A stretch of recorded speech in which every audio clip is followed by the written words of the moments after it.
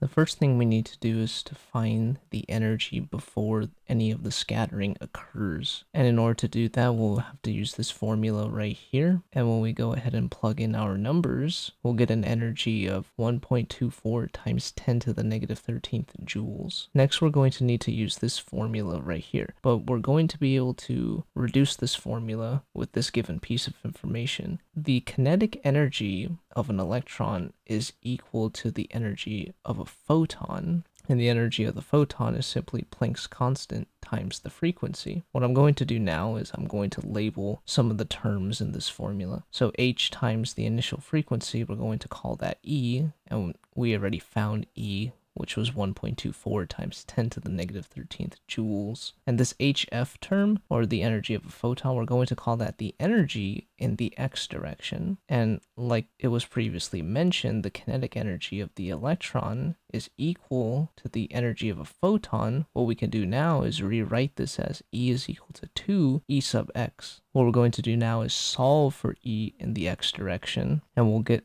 that the energy in the x direction is 6.21 times 10 to the negative 14th joules. Next, we're going to take that energy and we'll use that to find the new wavelength. The new wavelength will come out to be 3.2 times 10 to the negative 12 meters. Now we can go ahead and use the Compton effect formula, which is the change in the wavelength is equal to the new wavelength minus the initial wavelength. And we set that all equal to Planck's constant divided by the mass of the electron times the speed of light times 1 minus cosine theta. Now the question is asking for the scattering angle, so we have to solve for theta. Now when we solve for theta, we'll get an angle or a scattering angle of 70.1 degrees.